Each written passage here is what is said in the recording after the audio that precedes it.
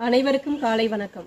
இதை இயேசுவில் பிரியமான சகோதரத்துவமே உயிர்த்த ஆண்டவருடைய நல்வாழ்த்துக்கள். அனைவருக்கும் ஹாப்பி ஈஸ்டர் இன்றைய நாளுடைய செய்தி சென்றார் கண்டார் நம்பினார். மகதலா மரியா போறாங்க இயேசுவை தேடி போறாங்க. இயேசு கல்லறையில இல்லை. அவர் உயிர்த்த செய்தி தெரியுது. அவருடைய அவர் கட்டியிருந்த துணி எல்லாமே அங்கங்கே தனித்தனியாக கிடக்குது. அதை பார்க்குறாங்க எங்கே என்னுடைய ஆண்டவரை காணமே அப்படின்னு சொல்லி சொல்கிறாங்க அவர் இங்கே இல்லை உயிர்த்துட்டார் அப்படின்னு சொல்லி சொல்கிறாங்க அவர் பின்னாடியே பேதுரு போகிறாரு பேதுருவும் அதை பார்க்குறாரு இயேசு உயிர்த்துட்டார் அப்படிங்கிறத எல்லாருமே நம்புகிறாங்க இன்றைய நாள் செய்தி நம்மளுக்கு என்ன சொல்லுது அப்படின்னா சென்றார் கண்டார் நம்பினார். அதாவது ஒரு துறவியை பார்க்க ஒரு மனுஷன் மனுஷன் போகிறாரு ஒரு மனிதர் வந்து ஒரு துறவியை பார்க்க போறாரு. அங்க போனோன்னே துறவிட்ட சாமி எனக்கு எல்லாமே இருக்கு சாமி. சொத்து இருக்கு சுகம் இருக்கு. பல நிறைய பில்டிங் பில்டிங்காக நான் நிறைய வீடு கட்டி போட்டிருக்கேன். நிறைய தொழிற்சாலையெல்லாம் இருக்குது. எல்லாமே எனக்கு இருக்கு சாமி. எனக்கு கட்டுக்கட்டா பணமெல்லாம் இருக்கு. நிறைய ரூம் ஃபுல்லா பணமெல்லாம் வச்சிருக்கேன். ஆனா ஒன்னே ஒன்று இல்லை சாமி. ஒன்றும் இல்லையா? சரி ஒரு பேப்பர் எடு. பேனாவெடு நான் எடுத்துட்டேன் சாமி. அதில் என்ன வேணுங்கிறத ஒரே வார்த்தையில் எழுது. அவர் எழுதுறாரு ஐ வாண்ட் பீஸ் அப்படின்னு சொல்லி எழுதுறாரு.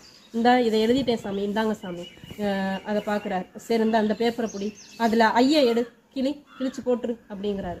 ஐயா எடுக்கிறாரு கிழிக்கிறாரு டஸ்ட்பினில் போட சொல்கிறாரு டஸ்ட்பினில் போட்டுறாரு. அடுத்தது என்ன இருக்குது வாண்ட்டு பீஸ் இருக்குது சாமி. அதில் வாண்ட்டை எடு தனியாக கிளி. டஸ்ட்பின்ல போட்டுரு குப்பை தொட்டியில் போட்டுரு ஐயா வாண்ட்டை எடுக்கிறாரு கிழிக்கிறாரு போட்டுறாரு. அடுத்தது என்ன இருக்குது பீஸ் இருக்குது சாமி. ஆ போ உனக்கு பீஸ் கிடச்சிருச்சு. அவ்வளோதானே உனக்கு வேறு என்ன வேணும்? போ அப்படிங்கிறாரு. என்ன சாமி இப்படி சொல்லிவிட்டீங்க? நான் எதுக்கு மனசுக்கு பீஸ் வேணும்னு சொல்கிறேன் நீங்கள் பேப்பரில் இருக்கிற பீஸை எனக்கு கொடுக்குறீங்க அப்படின்னு சொல்லி சொல்கிறாரு அப்போ துரபி சொல்கிறாரு ஐயங்கிறது நான்.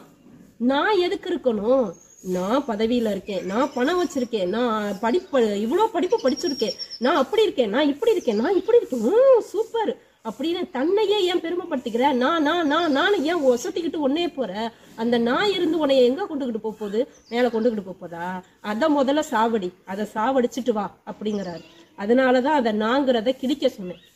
சரி வான்ட்டு சாமி வான்ட்டு. நீ சொன்னீல ரூம் ரூமா பணம் வச்சிருக்கேன். அவ்வளோ கட்டுக்கட்டா நகை வச்சிருக்கேன். நிறையா வச்சிருக்கேன். ரூம்ல ஃபுல்லா இருக்கு. நான் நிறைய பில்டிங் வச்சிருக்கிறேன். நான் நிறைய தொழிற்சாலை வச்சிருக்கேன். அதெல்லாம் எங்கே கொண்டுக்கிட்டு போகிற ஒரு சில பேர்லாம் இது இது- இது இருக்கே. ஆ, இதை விட இது சூப்பராக இருக்கே. ஆனால் இதை விட இது சூப்பராக இருக்கே. எப்படி ஆசைப்படுறீங்க? இவ்வளோ பணத்தை வச்சுக்கிட்டு நீ இவ்வளோ ஆசையிலேயே வாழ்றிய. எதுக்கு வாழ்கிற அந்த ஆசை எதுக்கு? அந்த ஆசை ஃபுல்லாக அழிவுக்கு தான் காரணம். அந்த ஆசையை முதல்ல கிழிச்சு போடு. அந்த ஆசையை முதல்ல மனசுலேருந்து தூக்கி எறி. அந்த டஸ்ட்பினில் போட சொன்னேன்னு டஸ்ட்பின்ங்கிறது குப்பை தொட்டி குப்பை தொட்டிங்கிறது இனிமேலுக்கு கிடைக்கவே கூடாது. அது வரவே கூடாது. அப்படிங்கிறதுல நீ போடு. அந்த ரெண்டுமே இல்லை அப்படின்னா உனக்கு சமாதானம் உனக்கு நிறைவா கிடைக்கும் அப்படிங்கிறாரு. அப்ப கடவுளும் இன்னைக்கு நம்மளை தேடி வந்து என்ன சொல்றாரு? உயிர்த்த ஆண்டவர் நம்மளுக்கு என்ன சொல்றாரு அப்படின்னா வந்து இதைதான் சொல்றாரு. அந்த மனுஷர் அந்த துறவி சொன்னோன்னு அதை கேட்டுட்டு சந்தோஷமா போறாரு.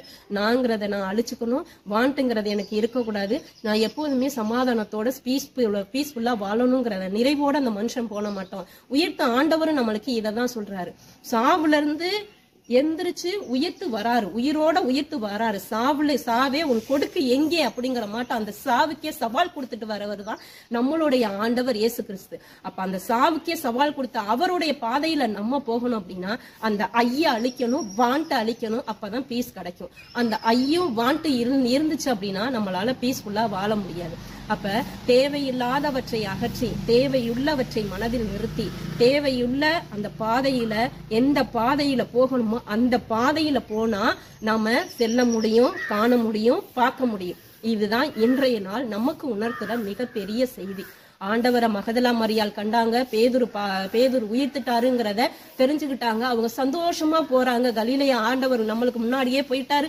நம்ம போவோம் அப்படின்னு அவங்க சந்தோஷமா போறாங்க. அதே போல உயிர்த்த ஆண்டவருடைய செய்தியை நம்ம காதல கேட்கறது மட்டும் இல்லாம இந்த காதல கேட்டு இந்த காதல விடுறது மட்டும் இல்லாம அதுல மனசுல நிறுத்தி நம்ம உள்ள இருக்கிற அந்த சந்தோஷத்தை அந்த சமாதானத்தை நம்ம ஒருத்தர் மற்றவங்கள்ட்ட பகிர்ந்துக்குவோம். ஏதோ தவ காலத்துல தவம் ஒருத்தல் ஜபம் அப்படிங்கறதுலயே முடிஞ்சு போனதில்ல நாற்பது நாள். இந்த இன்னையோட முடிஞ்சு போறதில்ல இந்த நாற்பது நாள். இனி வர நாட்கள்லயும் அந்த தவம் ஜபம் ஒருத்தல் தியாகம் அப்படிங்கறதுல நம்ம பயணம் செஞ்சு உயிர்த்த ஆண்டவரை நம்ம பிரதிபலிக்கக்கூடிய சின்னங்களா வாழ நாம இன்றைய நாள்ல அழைக்கப்படுறோம். வாழ்வோமா? சிந்தித்து செயல்படுவோம்.